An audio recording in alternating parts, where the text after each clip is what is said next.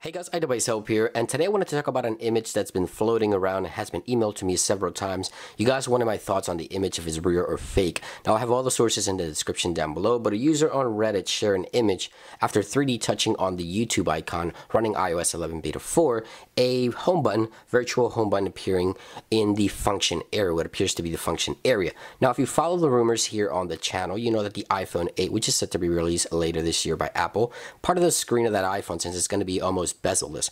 It's going to be a function row at the bottom of the screen that can morph into anything based on the application that you're running. So for example, let's say you're in messages, uh, the function area could morph into something like this, like this little section below the messages application in iOS 11. So that's rumored to be something that's coming to the iPhone 8 with iOS 11. So the user on Reddit posted this image after 3D touching on the YouTube icon. You see down there what appears to be the home button and a function bar there, function area hinting at being able to press on the home button there, the virtual home button to go back home after 3D touching on the YouTube icon.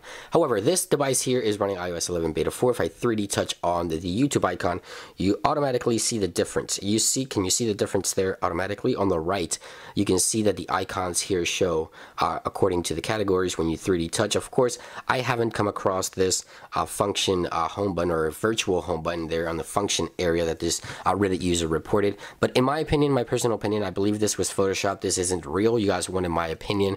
And I wanted to quickly address what this was. Now, another thing I did want to talk about was the blue icon pertaining to what's rumored to be the iPhone 8 that was leaked earlier this week on the HomePod firmware. Now, the Reddit user made a render of what this could look like if it was implemented into the Apple Pay's UI and it fits perfectly so I just wanted to share this information with you guys I thought it was rather interesting a lot of people really started believing that that could be the function area uh, making its appearance as a glitch in iOS 11 beta 4 my thoughts is that it isn't real. Let me know what you think in the comments down below. Do you believe this or do you think it's fake? Let me know. I hope you guys enjoyed the video and have a great day. I'll see you real soon.